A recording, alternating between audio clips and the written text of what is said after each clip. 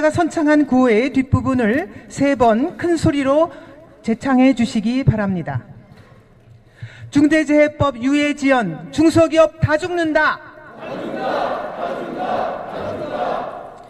영세기업 눈물 호소 민주당은 각성하라. 처벌만이 능사인가 산업 현장 외면 말라. 폐업 속출 고용 불안 민주당이 책임져라. 한 번 더 하겠습니다. 중대재해법 유예 지연 중소기업 다 죽는다. 영세기업 눈물 호소 민주당은 각성하라. 처벌만이 능사인가 산업 현장 외면 말라. 폐업 속출 고용 불안 민주당이 책임져라. 다음은 윤재옥 원내대표의 규탄사가 있겠습니다.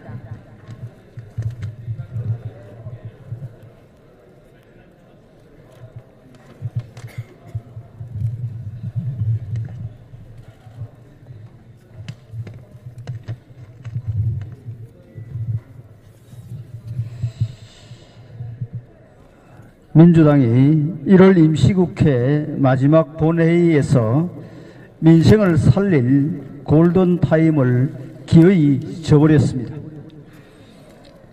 국민의힘은 수많은 소상공인들의 생명줄과 같은 중대재해처벌법 유예를 위해 그동안 민주당의 모든 요구를 수용했습니다. 그리고 민주당이 중대재해처벌법 2년 유예의 최종 조건으로 내건 산업안전보건청의 설치까지도 전향적으로 수용했습니다. 그래서 2년 유예 기간 후에 산업안전보건청을 설치하는 협상안을 제안했습니다. 하지만 민주당은 의원총회에서 최종적으로 우리 협상안을 걷어찼습니다. 이로써 민주당의 최종 목적은 산업안전보건청 설치가 아닌 그저 중대재해처벌법 유예를 하지 않는 것이, 것이었음이 드러났습니다. 국민을 기만한 것입니다. 온갖 조건을 내걸며 유예를 해줄 것처럼 하더니 결국 83만 중소기업, 영세 자영업자들, 그리고 800만 근로자의 삶의 현장을 인질 삼아 희망 고문을 해 온 것입니다. 국민의 힘은 국민의 절절한 호소와 민생 회복을 위해 모든 정치적 명분을 내려놓고 가장 중요한 것은 명분이 아니라 민생이기 때문에 민주당의 요구 조건을 수용해서 협상안을 제시한 것입니다. 하지만 민주당은 늘 그래 왔듯이 그저 하던 대로 자신들의 이념과 특정 세력의 눈치 보기로 민생을 내 던졌습니다. 민주당의 1순위는 국민도 소상공인도 중소기업도 그리고 800만 근로자도 아니었습니다. 민주당의 1순위는 민주노총과 한국노총 등 기득권 양대 노총일 뿐입니다. 선거에서 이들의 도움을 받을 생각에 민생을 내 던졌습니다. 오로지 표만 생각한 것입니다. 소수당인 국민의힘은 이제 중대재해처벌법 유예를 위해 입법적으로 할 수 있는 일은 더 이상 없습니다. 민생을 위해 국민에게 더 이상 할 수 없다는 사실이 너무 안타깝고 개탄스러울 뿐입니다. 국민의힘은 정부와 함께 행정적인 조치를 통해 모든 수단을 강구하겠습니다. 민생 현장에서 사고가 나, 지 않도록 안전조치에 만전을 기하고 과중한 처벌로 인해 중소기업과 영세 소상공인들이 피해를 보지 않도록 대책을 마련하겠습니다.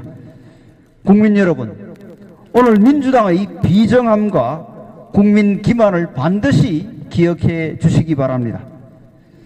오늘의 민주당의 행태를 다음 총선에서 심판하지 않으신다면 민주당은 민생을 인질로 삼아 국민을 기만하는 정치를 계속할 것입니다.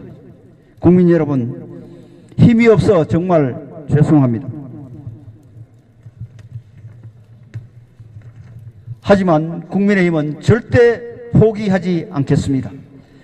거대 다수 의석의 힘으로 민생을 짓밟은 민주당의 행태에 맞서 더욱 국민을 지키기 위해 일어서겠습니다. 민주당이 기득권, 기득권의 편에서 권력을 휘두를수록 국민의 편에서 국민을 보호하는 데 앞장서겠습니다. 국민 여러분, 국민의 힘이 국민을 지킬 수 있도록 함께 해 주십시오. 감사합니다.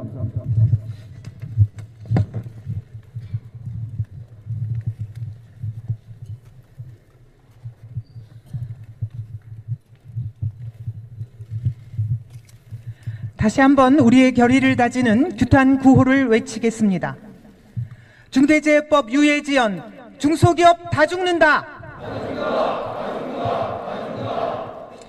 영세기업 눈물 호소 민주당은 각성하라.